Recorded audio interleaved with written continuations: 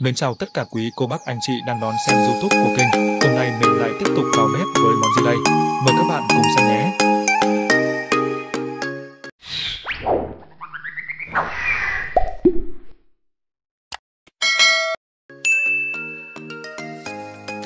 Cả nhà chuẩn bị 100g khoai lang tím đã luộc chín như vậy nha. Sau đó, cho vô cối xay. Cho thêm 50ml nước cốt dừa. Thêm 50ml sữa đặc. Xay đều lên thôi nào.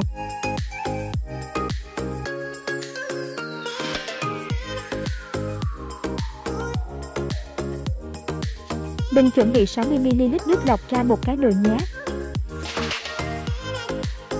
Thêm 100g đường cát trắng. Thêm 15g bột rau câu.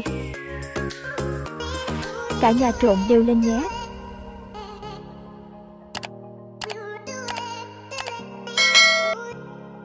Khuấy đều xong, các bạn để nghỉ 30 phút nha. Sau 30 phút nghỉ ngơi, các bạn cho ra cái nồi và bắt đầu công đoạn đun sôi hỗn hợp nhé.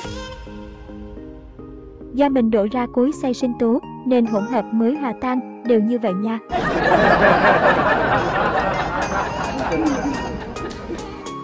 rơi rồi cả nhà ơi!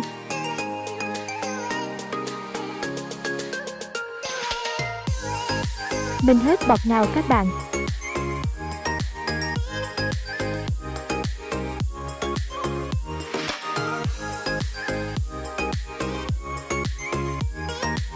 Rồi giờ mình chia hỗn hợp ra làm hai phần bằng nhau nhé.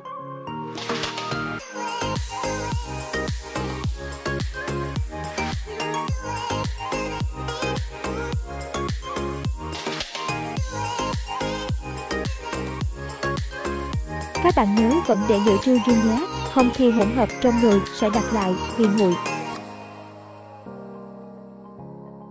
Mình cho 50ml sữa đặc vô hỗn hợp vừa múc ra nhé.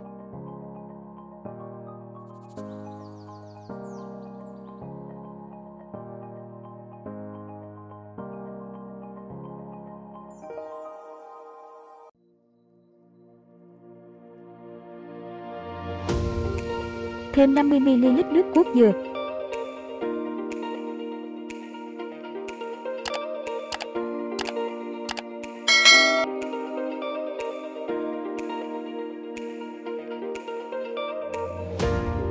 Tiếp theo mình đổ hỗn hợp khoai lang tím vừa xay lúc đầu vô trong nồi mình kêu các bạn chừa lại ý.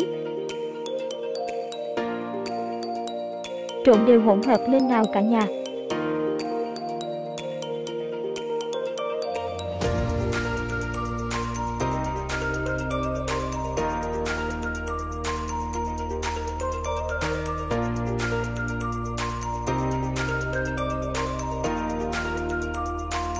Giờ thì mình chuẩn bị đổ ra khuôn nhé.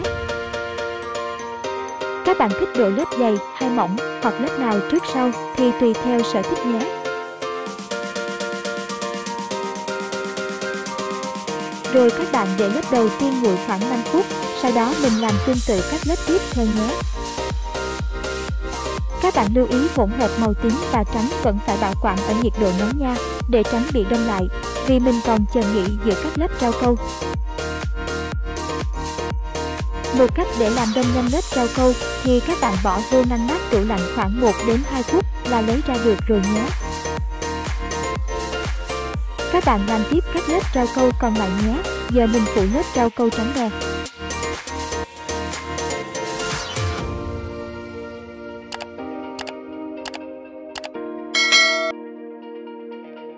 A few moments later.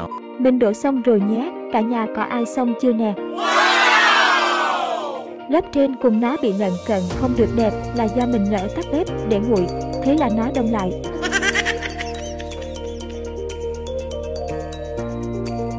Rau câu đã nguội rồi nha cả nhà, sợ đã ghê. Xào chó, xào chó. A few moments later.